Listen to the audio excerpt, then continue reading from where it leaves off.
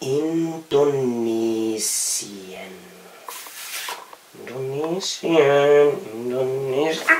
Verzeihung, das kommt irgendwie davon, wenn man Sam Raimi fragt, wo irgendein Land liegt. Aber ich glaube, es geht da nicht nur mir so. Erst vor wenigen Jahren ist Indonesien zum ersten Mal wirklich auf unseren Heimkino-Bildschirmen und Leinwänden eingeschlagen. Dort dann aber ungefähr mit der Wucht der Handkante von Iko Uweis im Genick einer nichtsahnenden Wache.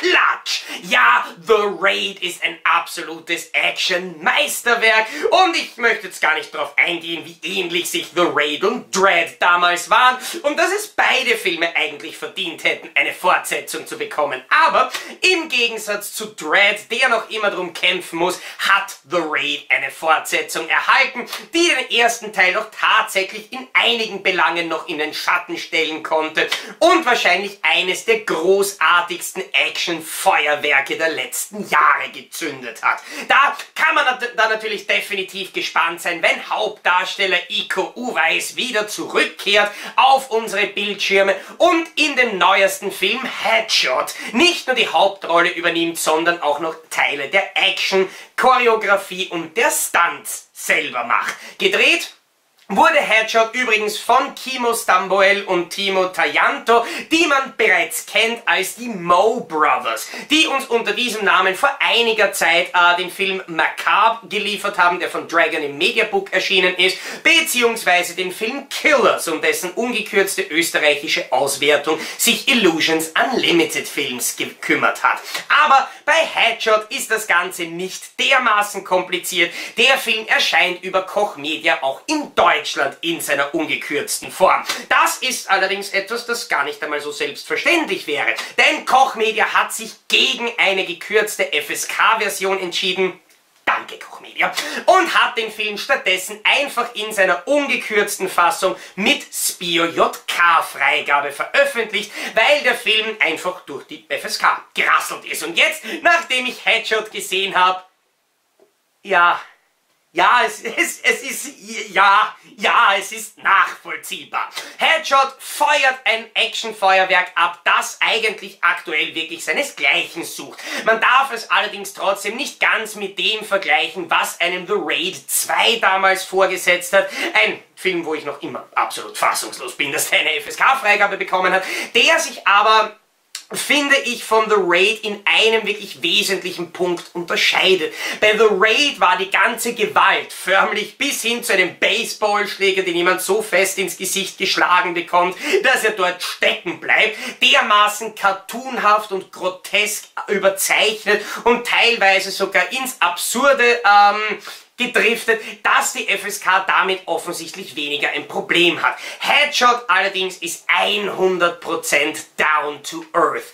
Gewalt tut weh in diesem Film. Wird zwar natürlich typisch etwas übertrieben dargestellt, wird aber eigentlich übertrieben natürlich dargestellt und vor allem schonungslos und brutal dargestellt. Es gibt in diesem Film eigentlich keine Guten, die den ganzen Film hindurch nur Gutes machen. Wir bewegen uns eigentlich in dem Spektrum, das wir in den 80er Jahren mit Arnold Schwarzenegger und Co. bereits bei den ganzen Action-Klassikern ausgelebt bekommen haben. Aber vielleicht einmal ganz kurz zur Handlung des Films. Iko Uweis zeichnet sich dadurch aus in dem Film, dass er tatsächlich einen Headshot kassiert hat. Etwas, das grundsätzlich normalerweise eigentlich eine relativ finale Angelegenheit wäre, aber er überlebt, wacht in einem Krankenhaus wieder auf, hat allerdings keine Erinnerungen an das, was vorher passiert war. Er weiß nicht, wie er dorthin gekommen ist, er weiß nicht, wer er war und er weiß vor allem nicht, wo er vorher irgendwie unterwegs war und welche Leute seine Kontakte waren.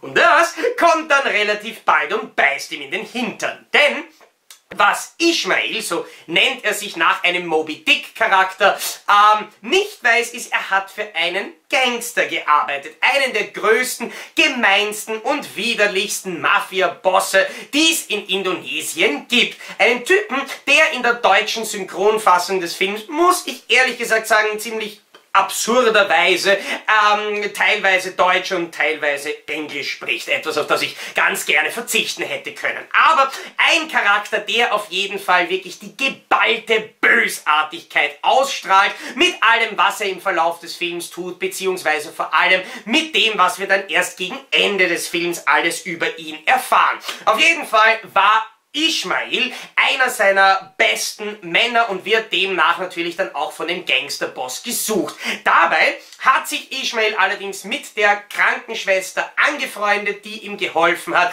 und die wird dann auch noch entführt. Und ich glaube, ihr könnt euch ungefähr vorstellen, ja, Headshot wird keinen Preis für das originellste Drehbuch bekommen. Das ist aber auch gar nicht notwendig. Wir wissen, dass Iko Uweis, obwohl er quasi für den Gangsterboss gearbeitet hat, der klassische, stereotypische Good Guy ist in dem Film. Wir wissen ganz klar, wer der Bad Guy ist und wer dessen Handlanger sind und wir warten einfach nur drauf, dass sie auf die Mütze kriegen.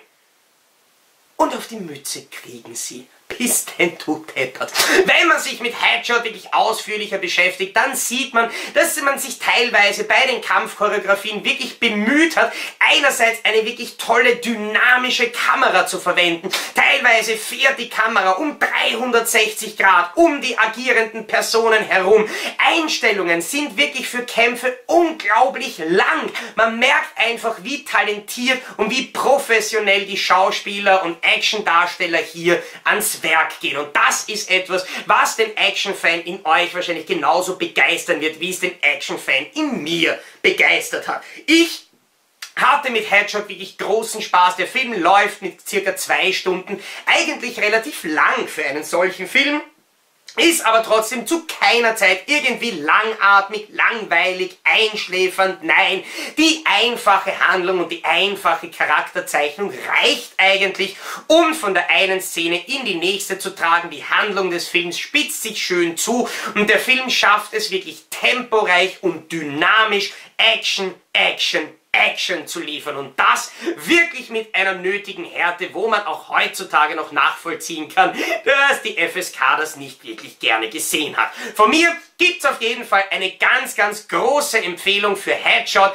Alle Fans asiatischer Kampfsportfilme sollten sich diesen Film definitiv anschauen, sollten sich auch wirklich endlich einmal merken, wo Indonesien ist auf der Karte, weil zumindest wo Iko Uweis draufsteht, ist definitiv coole Action drin. Allerdings darf man sich von Headshot wirklich kein derartig beeindruckendes Action-Spektakel und Vehikel erwarten, wie es uns Raid 2 vor allem geliefert hat, aber es ist definitiv ein Film, der die Action, die wir in Hollywood zu sehen bekommen, definitiv in der Pfeife raucht und der deswegen, alleine deswegen, schon für Action-Fans sehenswert ist. Noch einmal, von Koch Media gibt es die ungekürzte Fassung des Films ab dem 8. Juni ähm, 2017 auf DVD, auf Blu-ray und auch als Blu-ray im Steelbook. Ungekürzt mit Spear JK.